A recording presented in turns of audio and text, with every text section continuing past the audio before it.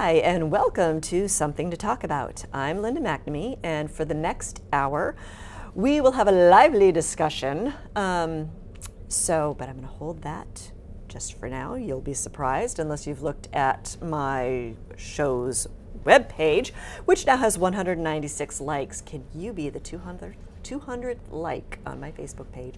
Because this is also episode number 50, so we're pretty proud of that.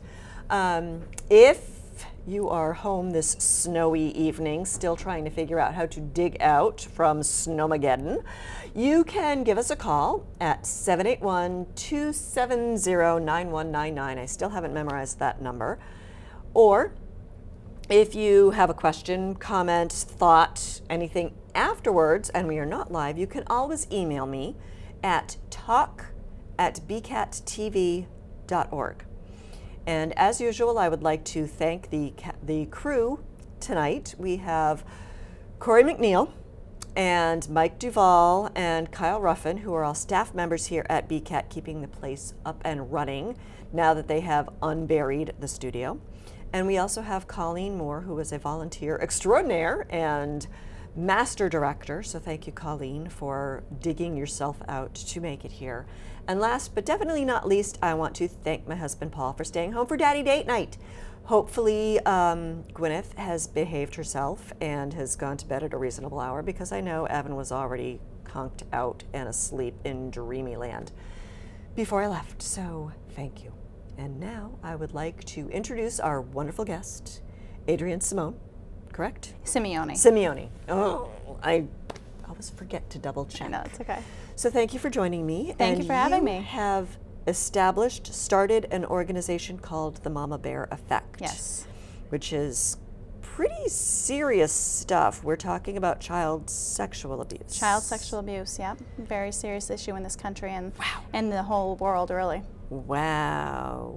It's like one of those things that you never really talk about. So if you don't talk about it, it's not there, but that's not the case. If it doesn't affect you, it's pretty easy to ignore it. Yeah. But for the people that are experiencing it, the children, it's something they're suffering in silence. And it's affecting so many people that we're now at a point where a lot of survivors are speaking out and are Mm-hmm. coming out.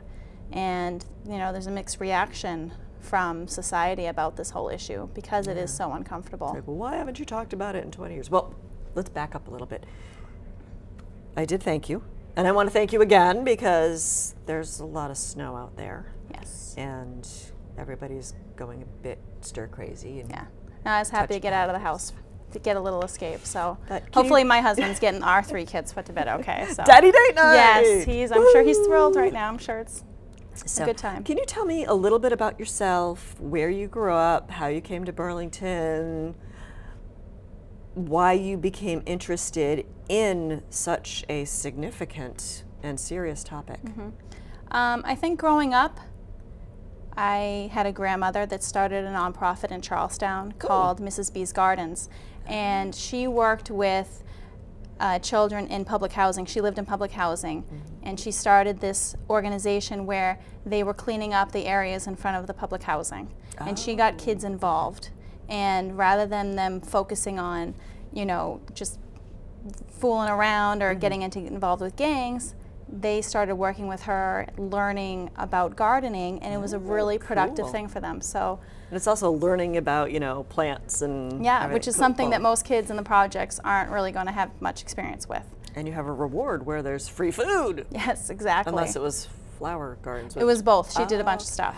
Um, so that was really, she was a really inspirational kind of lady. And, you know, in the years that I knew her, she always wanted to do more. She was always inspiring people to Mm. find their purpose and, you know, make their mark in the world. Wow. So I kind of always had that in me to look for my purpose in life, my opportunity Sounds to like a back. both nature nurture thing. You know, genetically you were Yes. already inclined thanks to grandma, and just seeing her as a great role model. Yes. So I grew up on the South Shore. And when I met my husband and we were getting married, his business was located in Somerville, and right where Good Times used to be, Okay. Yep. and they were tearing it down. So in the process of us trying to find a house to live, he was also looking to relocate his entire business. So we ended up here in Burlington, which is a great location. I like it. Yes. As my neighbor says, it's not so bad. It isn't. It's great. So. So now, did you, you know, did you go to school studying nonprofit management or? I went to Babson College. I got um, my degree in marketing and entrepreneurship. Oh, And okay, I so spent that was related. I spent a lot of my time working for my family business. So I mm. actually started from the bottom up. My father owns a wholesale food manufacturing company mm. called Boston Salads. Okay. They make deli salads, chicken salad, mm. coleslaw. They distribute cold cuts and soups and all that kind of fun stuff. Okay. So I worked in production, I worked in distribution, and then I was inside sales, I was outside sales, and then towards the end I was doing some management position.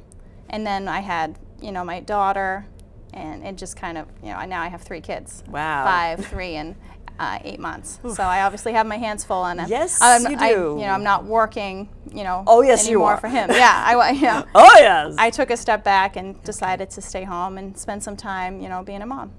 Oh, okay. So how did you discover, you know, the, the issue or the Mm-hmm. problem of child sexual abuse and what made you actually go out and establish the Mm-hmm. Mama Bear Effect? And where'd you get the name? It's kind of fun. Yeah.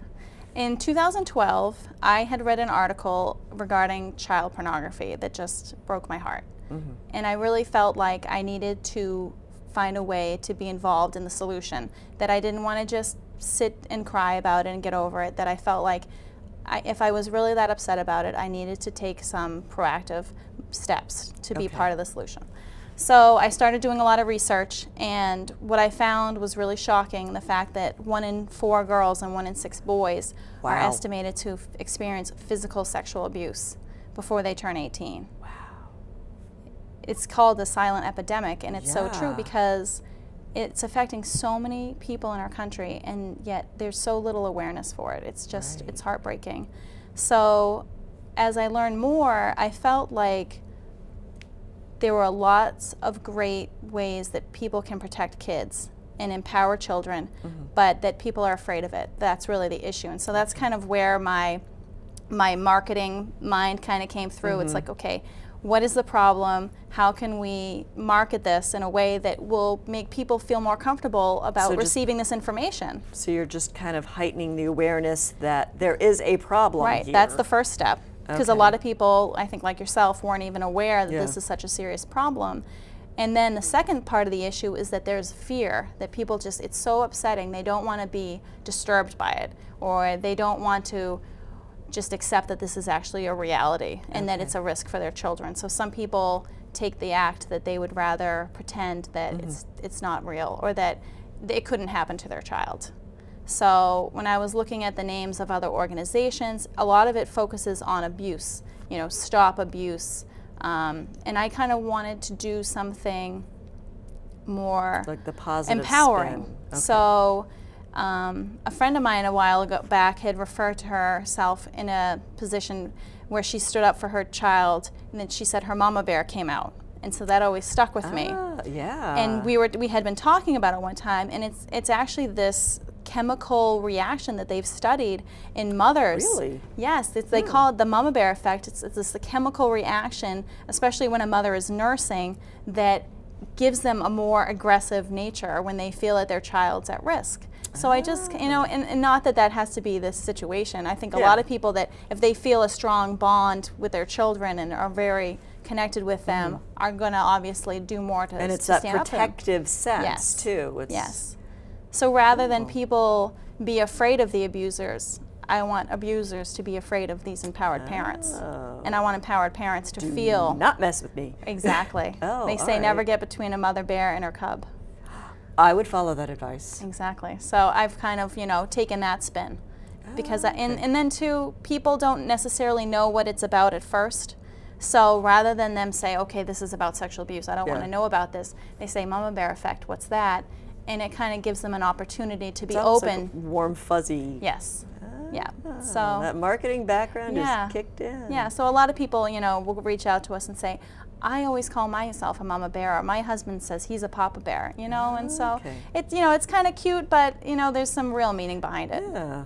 Hmm, interesting. So now is the mama bear effect an advocacy group? Does it go into legal counsel? Or is it just kind of working at educating the public? I mean, what's your mission? My mission is to empower every single person that wants to raise awareness in their community to give them the tools to do that. Basically, in my mind, the Mama Bear effect is the change that we could have over this whole country if all the good hearted people that care about children mm-hmm. took action for this cause. Wow, okay. So, when I was looking for information, I felt like I wanted to get involved, but I wasn't really seeing a lot of opportunities to do so. Uh, okay. And there weren't a lot of materials, so I myself have created this website with all this information that I've learned from all of mm-hmm. my research, and I've created a lot of tools, programs, and brochures, and you know, rock the talk oh, bookmarks oh, okay. to help people spread it throughout their community. Okay. Now I normally save this for the end of the show, but with all of this marketing that you're doing, do you do any fundraisers or do you accept donations or how do you fund all of this? I, I sell t-shirts online. I sell okay. the materials online pretty much at okay. cost and to cover the shipping costs. And we did do our first uh, real fundraiser last year. Okay. Um, which was it was a great success. We raised a few thousand dollars, which Excellent. was wonderful for us because it doesn't take a lot of money for mm-hmm. us to do what we need to do, but there is you know there is some need for financial support. And surprisingly, we do we do receive a lot of donations online. Oh. Um, which is it's you know there's no way to really thank these people mm-hmm. for supporting us. You know, it means it means the world to me that people are willing to support what we're doing. Okay. Now you say we. Do you have a staff, or is it just kind of like we're a 501c3 nonprofit okay. organization, so we do have a board of directors, oh, and we wow. meet and you know kind of have powwows about how to you know attack the issue and how to get involved. So you like hit the ground running because you said you read this article in 2012, yeah. and here it is early to really yeah. early 2015, and yeah.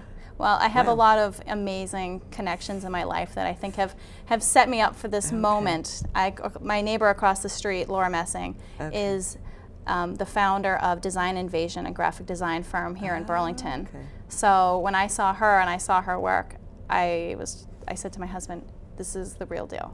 Yeah. Across the street. So I kind of said, "Hey Laura, do you want to help do a logo for me?" And she's like, "Of course." Of course. So that was amazing. Here, twist my arm. Go I know. Twist. And then I had a I have a cousin who's a lawyer, so he pretty much just hooked me up with a friend of his in, in Boston, and they okay. they helped me form the whole corporation. Excellent. So it was it was amazing. Okay. Now, you said you focus on child sexual abuse. Do you provide advocacy for other forms of abuse, or do you limit it to just child sexual abuse? I have done a little bit of research in terms of physical abuse and neglect. It's a much more complicated um, issue. Child okay. sexual abuse is very particular um, in terms okay. of how we can protect kids. Um, physical abuse and neglect is often perpetrated by the parents. Child sexual abuse is often happening with children whose parents love and want to protect them. And okay. it's happening either within the family unit and the parents are not aware, okay. or outside of the family. And the, the parents are often trusting these people with their children and not realizing the risk. Now, how often is it a parent who is sexually abusing their child. Is that common, or is it usually like a babysitter or an uncle or you know crazy cousin Louie or? The one thing that's a little bit challenged about this issue is that due to the lack of funding and awareness, in terms of studies, you know, researching exactly who the offenders are, it's more broad. The, the statistics say that there's like between 30 to 40 percent of perpetrators are family members, which could be parents, okay, so grandparents, it really does, it's siblings. Yes, a big umbrella. Yes. Now, okay, that's family but, members. But parents is, is very common for oh. our page. you know, a lot of our oh, supporters. It was it was a parent. Okay.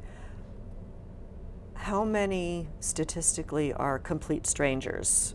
Less like, than ten percent. Oh, okay which a lot of people. Like, hey, little girl, I lost my puppy. You want right. to get in the car? You know, right. Stranger danger. Actually, people fear strangers.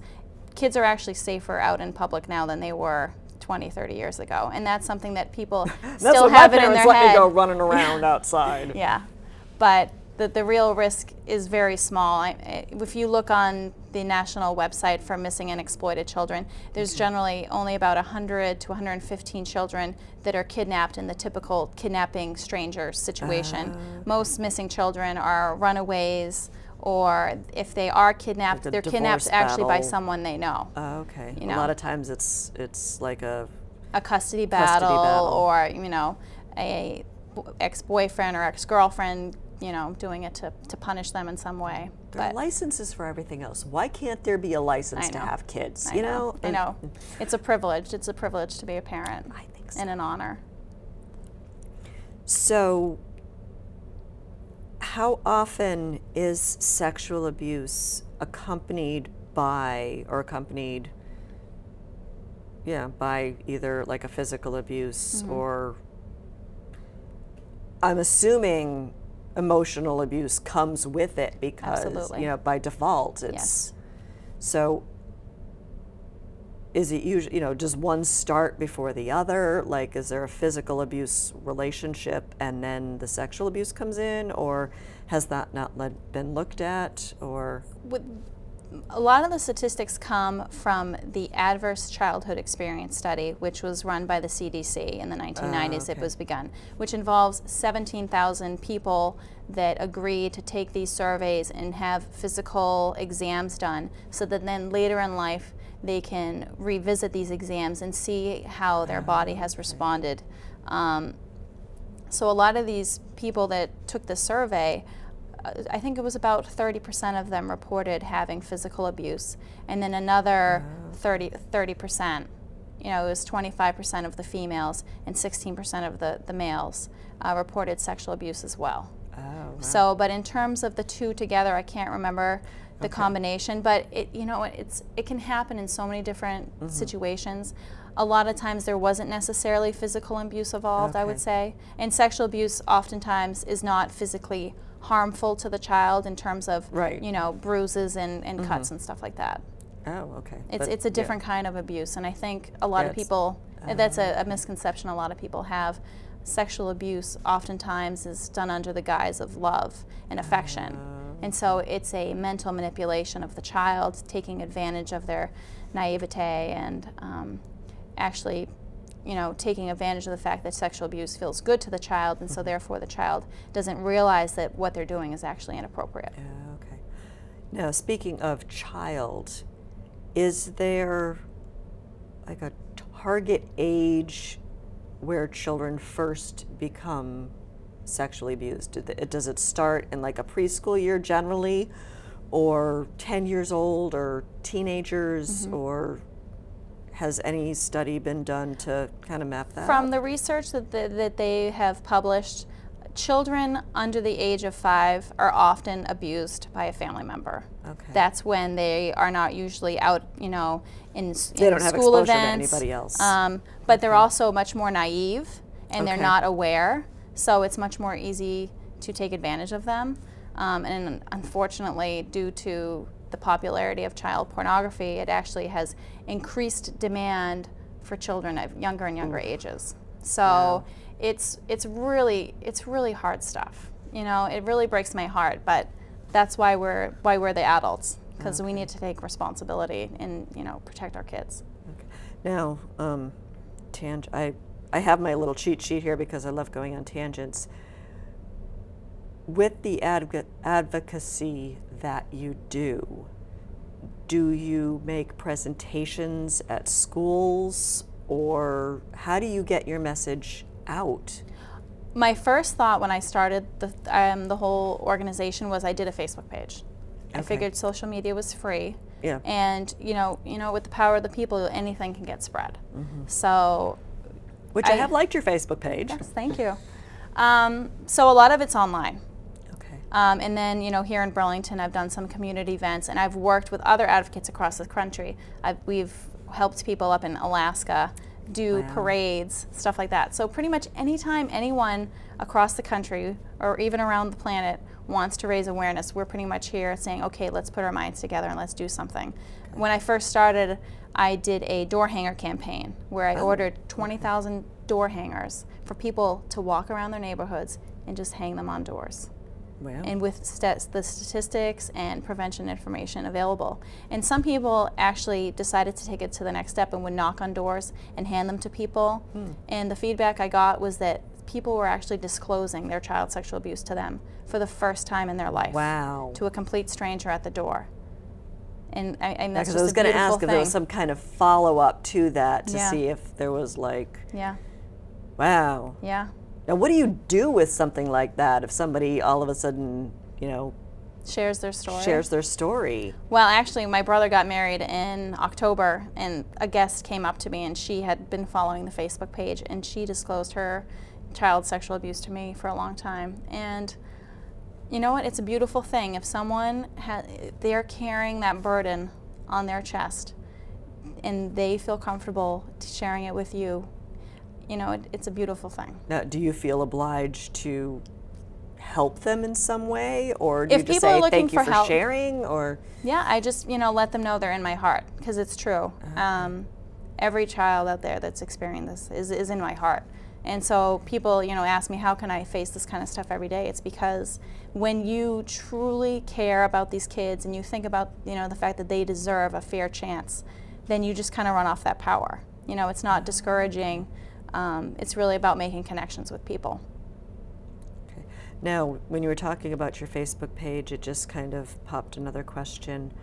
Firecracker Yes. is an abused child yes. who is going to appear in court. Yes, she has a court appointment next month. She's going to be testifying against her grandfather, who began sexually abusing her uh, when she was a toddler. Wow. And her mother had reached out to me um, when this first all came about two years ago through the Facebook page. oh. So I had kept in communication with her. okay. Um, but it's very rare for a child as young as Firecracker, she's five, to take the stand. A lot of times the parents don't want to do it because they're afraid it's going to be traumatizing to the child. The district like the abuse wasn't. you Right, know. exactly. Um, the district attorney might not want to because they're afraid the child might not, you know, might, might break down and not say anything at all. Um, but they have confidence that she can do it. So Now, would this be like live testimony, or would she be in a room separate, video, you know, like a videotape, or unfortunately, where she is, her grandfather could actually be in the room. Oh, They're, wow. they put in a request for a special allowance for him not to be there, which it's okay. it's sad that we're even at the point where people should even have to request this. And the fact that she's even testifying just goes to show how far our judicial system has to go to actually empower these kids. Um, we have Well, I think our judicial system needs a lot of work. Yeah. Anyway. She's she's already gone through the process of reporting and speaking with a forensic interviewer. This is all on videotape. Okay. But the, the, rec- the court is making her testify live again Wow. and answer the questions from the defense. And her grandfather doesn't have to say anything. He oh, gets Oh, to just sit there and, and hold his breath. So we're really rooting for her. and that's why, okay. you know, Just that's why. Don't do- make eye contact. Don't yeah. make eye contact. Well, hopefully he won't be in the room. that would I be I think nice. they're going to allow that. Let's hope so. Now, are there risk factors for a child to be more susceptible to some form of child sexual abuse? Yes. Uh, The number one risk factor for a child for sexual abuse is a special needs child. Children that have disabilities or have challenges in communicating, um, very high risk. It's almost a certainty that I think it's about 90% of children that Wow. have special needs will not only be sexually abused once, they will experience sexual abuse multiple times in their life. So uh, there's a lot of you know outreach that needs to be done for these parents, um, and obviously they have to trust their children with a lot more people than the normal person would have to in terms Mm-hmm. of transportation and different forms of therapies. There are a lot of people that have access to their children, Yeah. and those organizations need to do a better job to provide transparency to these parents so that they know that they're being taken care of. That's got to be hard for the parent just saying, Yeah. you know, here, take I my know. kid. Yeah. So, anyway, I'm Yeah. sorry I neglected to wish my best to Firecracker oh, and Oh, thank keep you. us posted on the Facebook Oh, page, absolutely. Yeah. Her mom and I when have been chatting. So. roughly, without disclosing too much, When is this court date? Is It's it like she'll, sh- within the middle of the February. We should hear back. It was supposed to be this month, but they postponed it, which can happen. So that can Right, be okay. frustrating too. So Yeah. the child's mentally trying to prepare for it, and oh, then and then they have to keep waiting, and, and they just want it to be over with. Okay. Now, how how do you introduce? You know, you had mentioned ninety percent being special needs children, but children in general. Mm-hmm. How do you approach the subject to teach them that this isn't okay Mm-hmm. without? You know, because I, you know, I have a six-year-old now, and it's like I've been, you know, failing in the parent category because I haven't brought this up because I don't want to make her paranoid. I don't want to scare her. I don't want to give her nightmares at night mm-hmm. telling her what could happen if statistically chances are it probably never will. How do you mm-hmm. bring how, how did you tell your kids or have you? Oh yeah, I mean my daughter, my daughter's five, so she actually has the mentality of why aren't parents talking about this? And you need to go around and you need to tell parents. We need to do signs telling parents to do this kind of stuff. She wants to be here right now. She was she Past your wants to- bedtime. I know. She wanted to know why she couldn't be here. But You could watch You start- on TV tomorrow. well, just like we, we teach kids what the names of their body parts are. Mm-hmm. So we just don't neglect their, their special private mm-hmm. parts, you know, and we use the real words and you just don't make any, it's not shameful. Because if you don't talk about it, they know that they're there. And they know that you, that we're not talking about it. So then they feel like this is something I'm not supposed to talk about because mommy and daddy never talk about this. Oh, so my, the way I approach it, they're special. They're special. They're what makes you a girl or a boy, and that's a very special thing. And they're private because we're not supposed to share them with other people. Mm-hmm. So it's really not that scary. And I've explained to my daughter that, you know, especially with this girl Firecracker, that her grandfather touched her private parts. And in, in that, you know, it was sad for her that, you know, her grandpa wasn't supposed to do that. And, you know, and she's feeling really sad about it. Um, but, you know, Because she that's another hard thing, putting Yeah. it in terms that a three-year-old or a five-year-old Right. can can grasp. Yeah, yeah. I think as long as we don't make it seem like it's a big deal, um, it doesn't have to be a big deal for them. Um, I think there are a lot of things that we teach them that could potentially scare them. I, I scare the heck out of my kids about chewing their food so they don't choke. Yeah. I terrify Oh, them about running into the that one out street. You know, so I think there's a lot of, I think, I mean, fear is not necessarily a bad thing. Um, I don't think my kids have nightmares about choking on their food or, you know, getting run over by a car.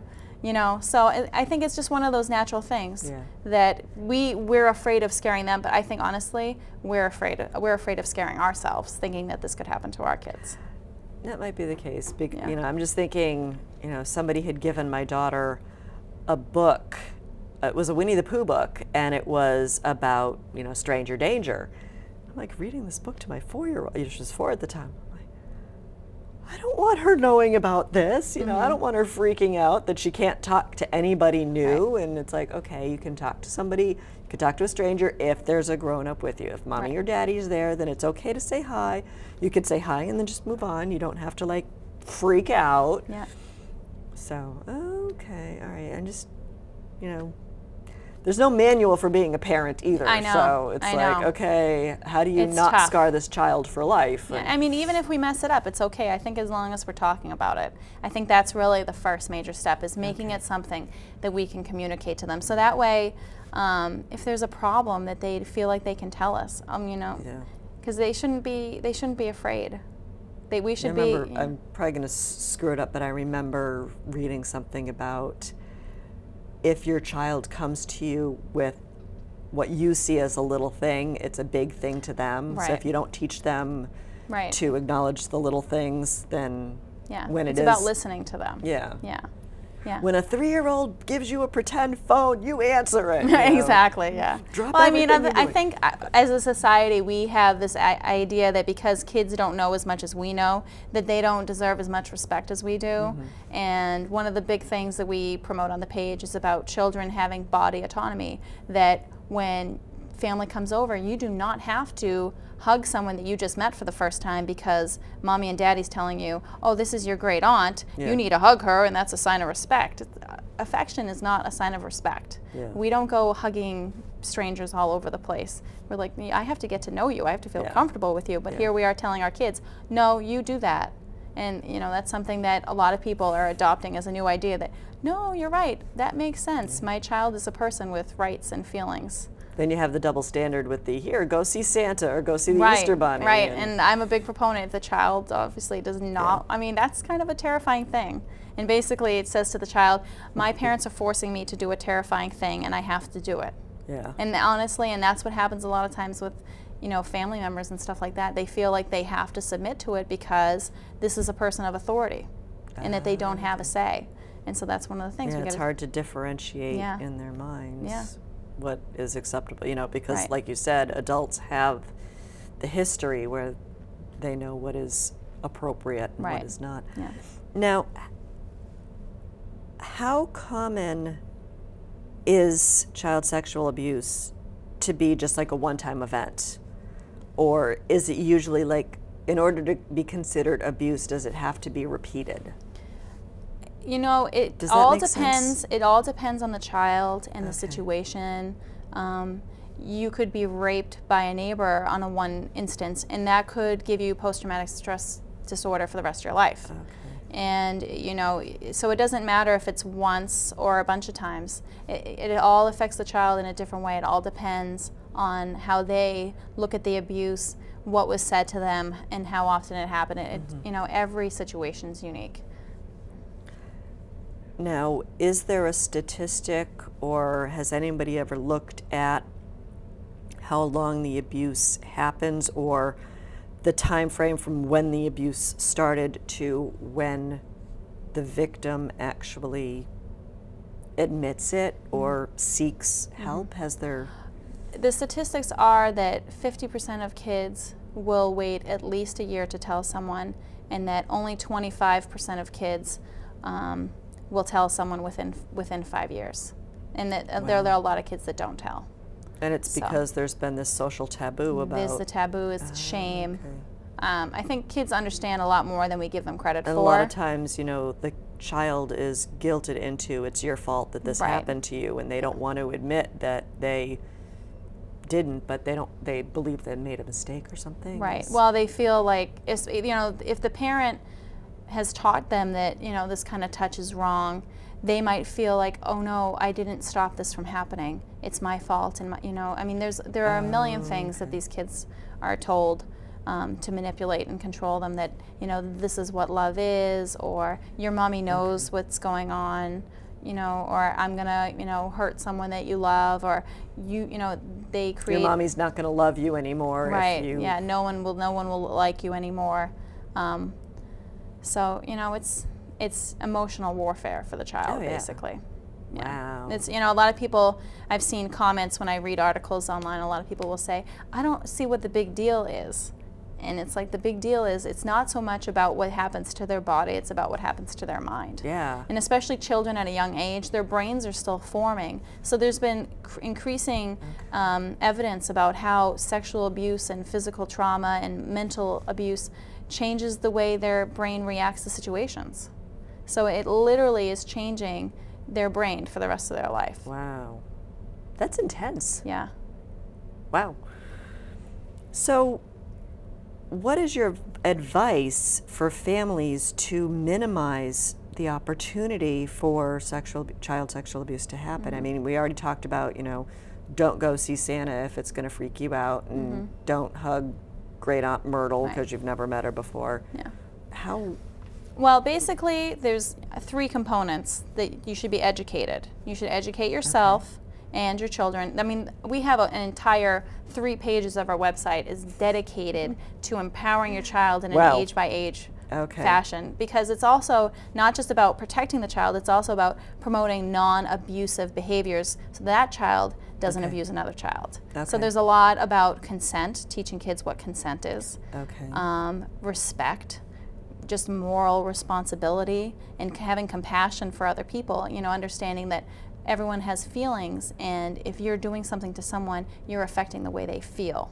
Okay. And a lot of a lot of kids don't get that. I mean, it's going to take time for them mm-hmm. to get mm-hmm. that lesson, but it's it's one of those things that's our job to teach our kids. That's not something that they're okay. supposed to learn in school. So especially like bullying is a big problem. The two right. the two are related in many ways. Yeah, because it seems a, like a power struggle. Right. Or not right. a, a, struggle, but right. a power seeking behavior. Mm-hmm. In some instances, there will be warning signs that someone could be potentially abusive. Um, grooming is a word that every parent should know, and grooming it means that you know this perpetrator has selected a family and a child, and they are looking to build trust with that family. They are looking to gain that child's affection and that child's trust, and then break down physical barriers to initiate sexual contact. Okay. So there are a lot of warning signs um, that people can kind of look for, especially for single parents. Single parents are actually the second most um, oh, vulnerable okay. family unit um, at risk for sexual abuse because um, a lot of times the parent might be emotionally um, vulnerable and okay. looking for a boyfriend or a girlfriend.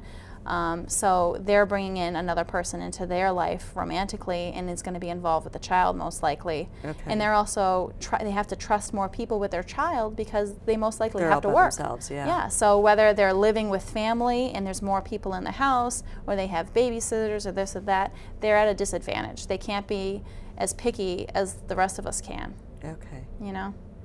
Now you mentioned some of the warning signs, but could there be somebody who just happens to be a nice person that you know may fit this profile? I mean yeah. how often does that happen? Er, are there ways to distinguish as a parent? I would say that there's no way to absolutely distinguish.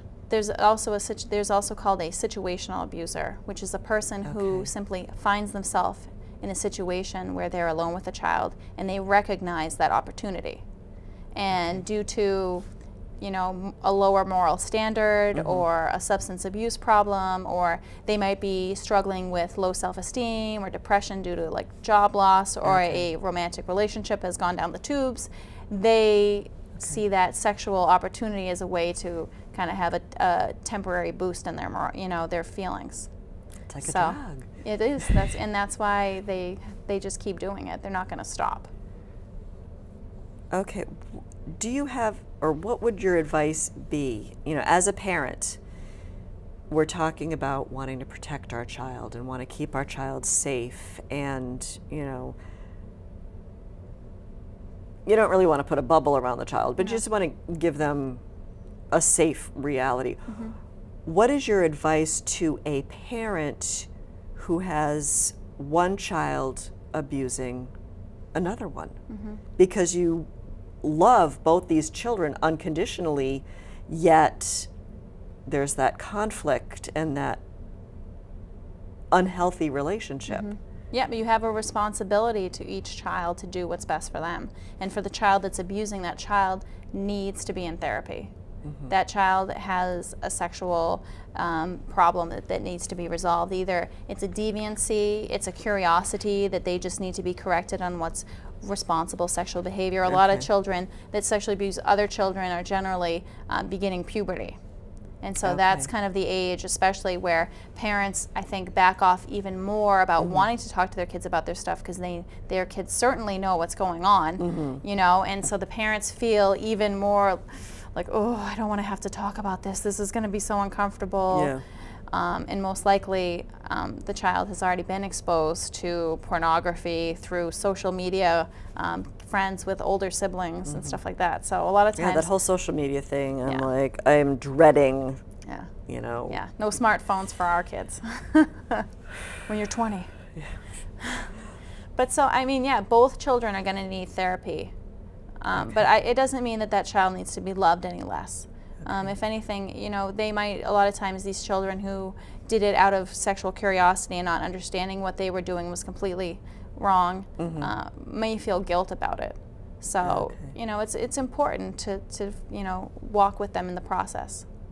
Because I'm just thinking, okay, if the abuser goes to get therapy, I mean, should the parent be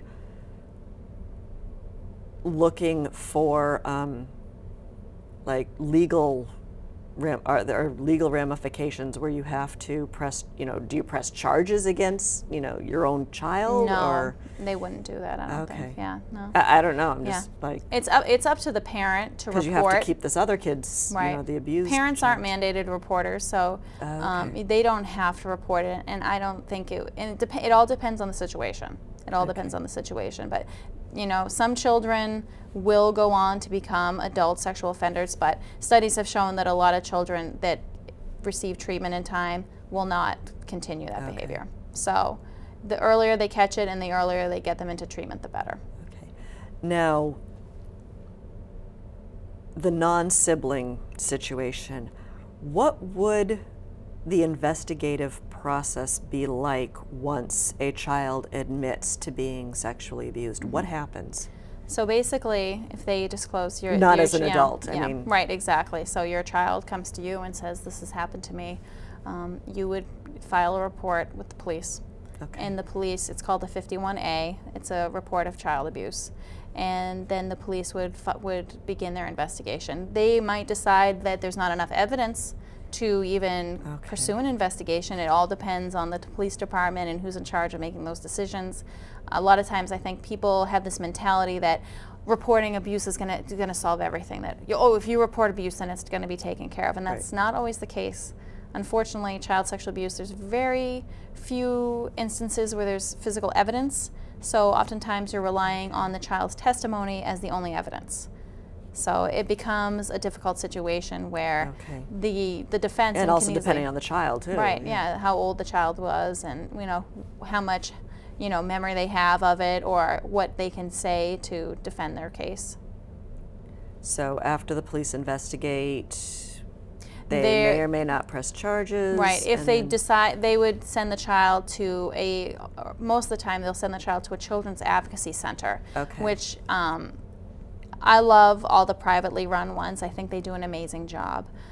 The child goes in there, and it's like a home, and it's a three-day process where, or not necessarily three days, but three visits. The child goes in, and they get to be comfortable with the forensic interviewer. Okay. Because you don't want to just have the child go in there and, and expect them to just Spill their tell guts. everything. And unfortunately, back in the day, Yeah. that's what it would have been. They would have, okay, you tell this person everything that happened to you. Okay, now we're going to do a physical exam. Now you tell this person everything that happened to you. And it's extremely traumatizing Yeah. for the child. So, children's advocacy centers have been designed to reduce trauma to the child, and everything is recorded so that the investigators don't even have to really talk to the child. They can review these forensic interviews um, that are done, you know, on a one-on-one basis in a room with the child in a very comfortable setting. So it's actually increased the number of convictions that they've been able to make because of the fact that children feel much more comfortable talking about it, which is a great thing. Now, how many cases are from that point on? I mean, I'm just thinking of a firecracker. Mm-hmm. When they actually go to court, how often is the child involved in the whole legal process, the, the whole criminal? Is it a criminal? It's a thing? it would be criminal. Okay. Yep. Uh, very few make it to the point where they would go to trial. We have a lot of supporters on the Facebook page that have reached out to us, and it's very frustrating. Uh, if the, the child sometimes doesn't feel like talking, the child's too afraid, and they don't want to have to go through it. Uh, it's it's a tough call, and the parent has to make the right call for the child. Sometimes the district attorney doesn't feel confident putting the child on the stand. Either they're afraid of traumatizing the child, or they don't feel as though it's going to be able to make the impact they want to make, Okay. and they want convictions. Okay. So, Now, if someone's convicted, is there kind of like a, a spreadsheet or something of what the penalties are? Is it a fine? Is it jail time? Is it, you know, probation? Or does it all depend on how good your lawyer is? it all depends on the prosecutor. It depends on the judge. It depends on the state. Okay. Um, it can really vary.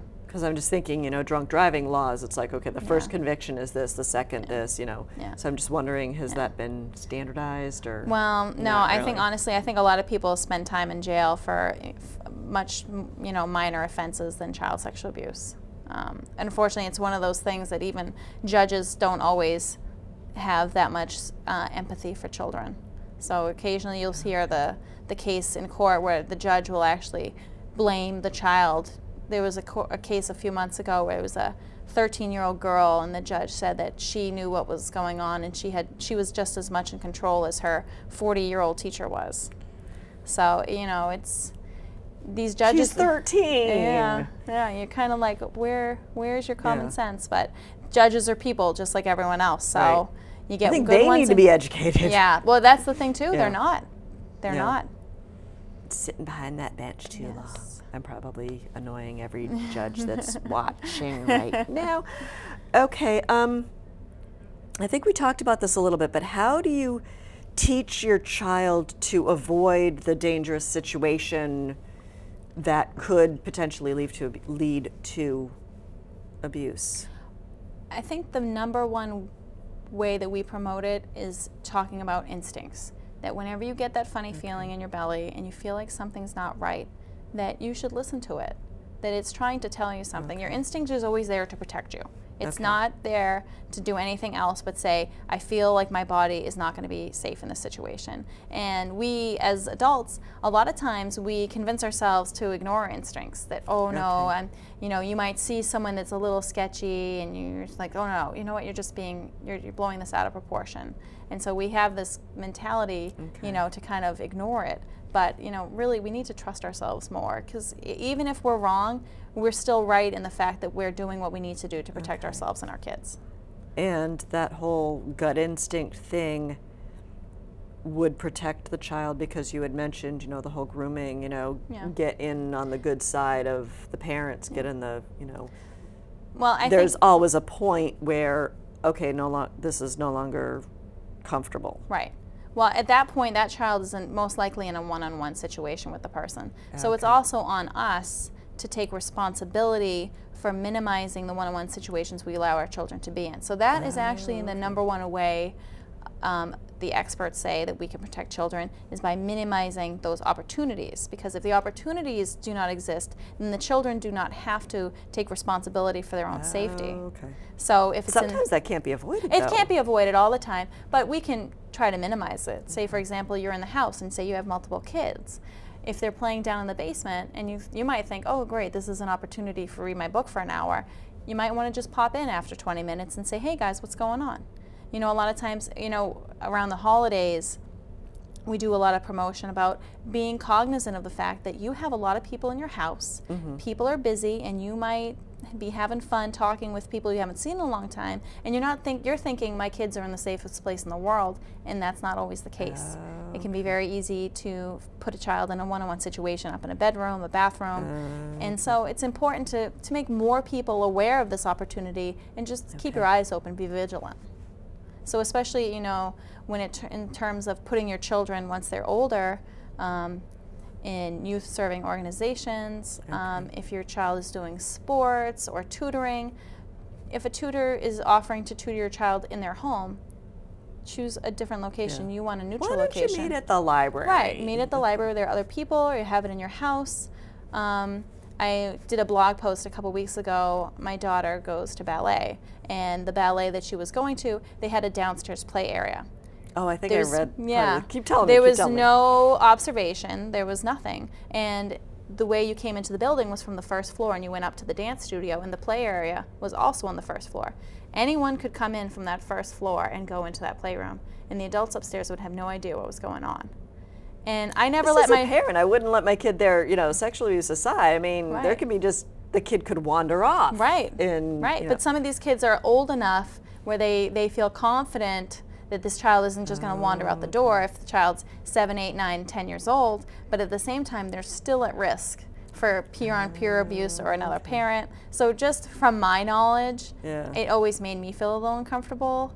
But I knew other parents, you know, after a while I kind of realized that that was the situation. They were letting their kids go down there. But, you know, since then they've, they've moved to a new location. So Oh, okay. the whole situation's been rectified. But, you know, once I kind of got that feeling, I was like, okay, I'm going to need to say something to the owner. But then they moved. So it kind Oh, of, it was okay. a good thing. But just to be aware of situations like that because we're very trusting sometimes.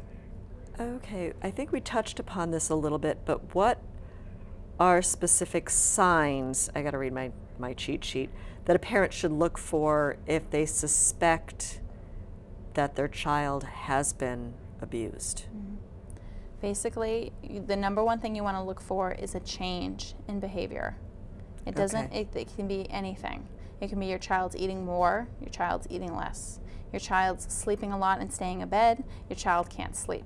If there's regression in potty training or, you know, having nightmares, they're, if they're, they're doing really poorly in school and neglecting their studies when before they were doing mm-hmm. really well, or all of a sudden they're burying themselves in their books and studying like there's, Oh, okay. you know, like the midterm exam is coming and it's just all the time. So, you know, there's a lot, you just have to be cognizant of your children. If you see something, it doesn't mean that, that that's the problem, but if it doesn't go away, you know what? It's just something you There's should something consider. going on. Yeah. Yeah, okay. Don't let it go. Don't just assume that it's just a, a, just a change in personality. Okay. Just, you know, be vigilant.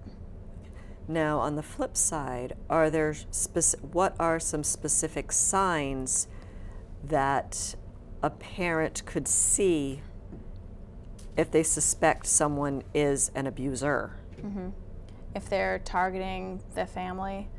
Um, someone that's looking to build up your trust in them, someone that's very eager to try to insert. Like themselves in your family. Yeah, Okay. they feel like they're really, trying too hard. Yeah, trying. Yeah, you're like, wow, this person really wants to be my best friend, or someone that's really helpful. Anytime really someone offers to babysit your kids, like who really wants to babysit kids? Let's be honest. If someone's like, hey, I'll babysit your kids sometime, be like, why? Yeah. really like why would you like that doesn't sound like fun to me but so, you know that case up in wakefield where I'm that not familiar with- where okay. um, he was a convicted sexual offender and his wife had the daycare Uh, and he was taking care of children i heard from other people that he they were going around offering to babysit people's kids so that's kind of creepy that the wife was okay with that. yeah, well, that's one of the the you know she was it was probably a codependency. She Okay. was kind of feeding into his Oh, issue okay. because she probably just didn't want to be alone, or you know, unfortunately, she probably had a weak constitution, and you know, she was a vulnerable person, Hmm. so she made bad decisions, you know, and was thinking more about herself than anyone else.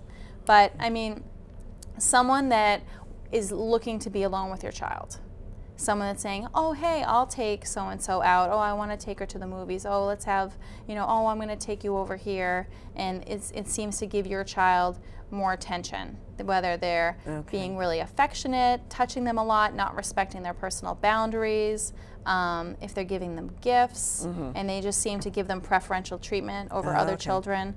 Um, just be aware of who who is paying attention to your child. They could be, you know, if you're a, sp- a lot of times if you're into sports, your child has a natural talent for something. Mm-hmm. Someone may come into your life and be very interested in your child's talent and wants to progress the talent when really they're looking for access to the child. That's a very common Oh, situation for children in sports.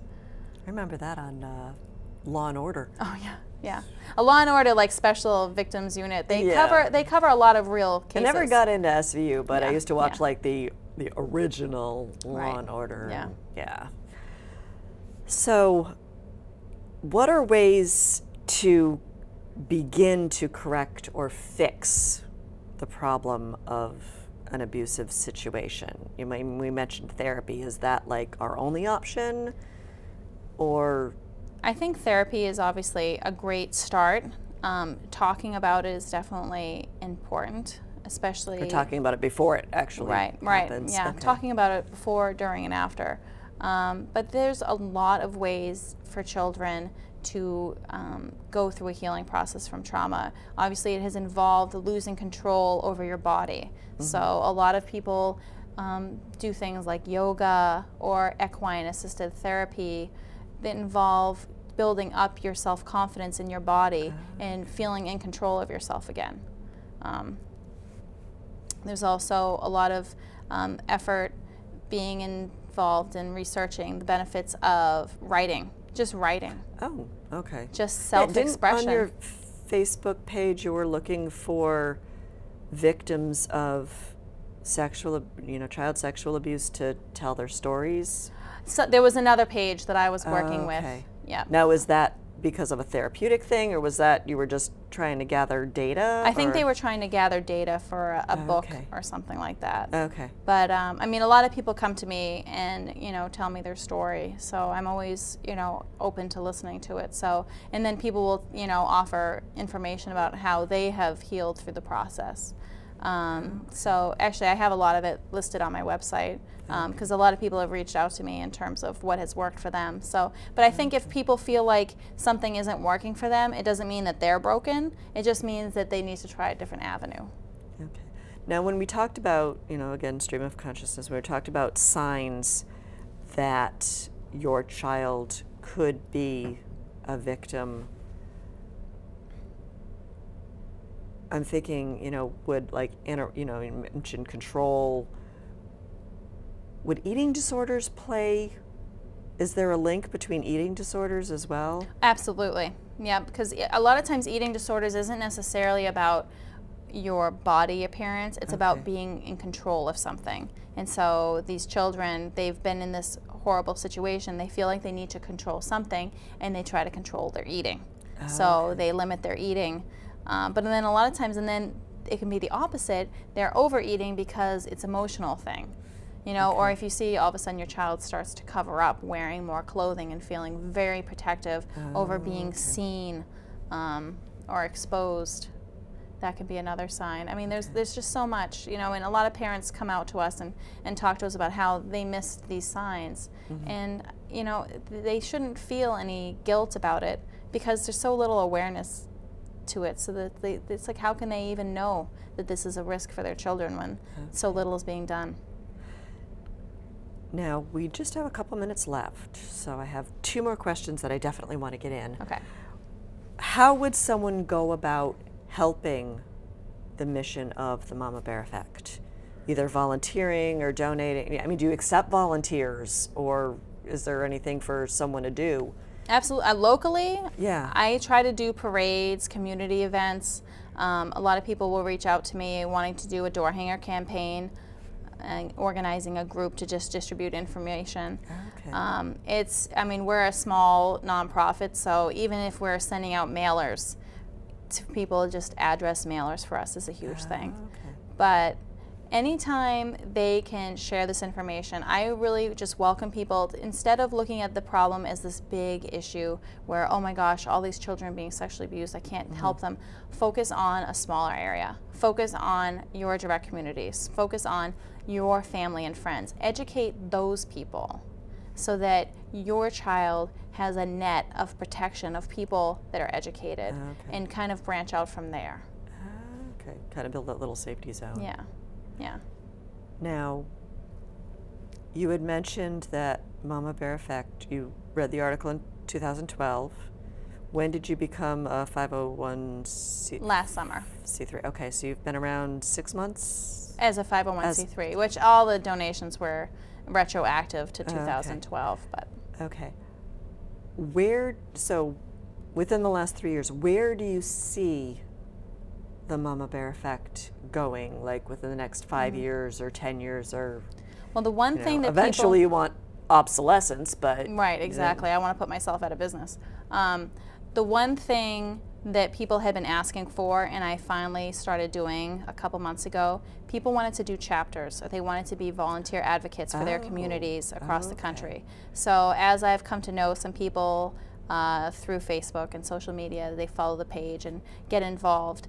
I have said, okay, let's give this a go. So I've given them business cards, educational materials, and you know a code of conduct to follow. And basically, I want from them is how do you want to raise awareness in your community? What can we do together? And you know we'll raise a little bit of funding to help cover the costs because unfortunately I'm not going to have enough coming in to keep up keep it up going. Right. Um, every donation that comes in directly goes to funding educational materials. I mean, I live, eat, and sleep child sexual abuse prevention, but I don't. It's not a job for me. I, I put more money into this business than you know. My husband said to me, "Oh, you know, you've got so many Amazon packages coming in. Like, you need to get a job." So then I got a job that, that I pay to do. so, but uh, obviously, you know, the benefits for for my soul have been, you know, exponential. Well, we are out of time. So I want to thank you very much Yeah, for thanks for coming. and me. thank you for celebrating my 50th episode. Woo! Thank you. So, and I do want to thank everyone at home for tuning in and watching, and hope you learned as much as I did. Have a safe evening, safe day, safe weekend, and I will see you around town. Thanks so much. Good night.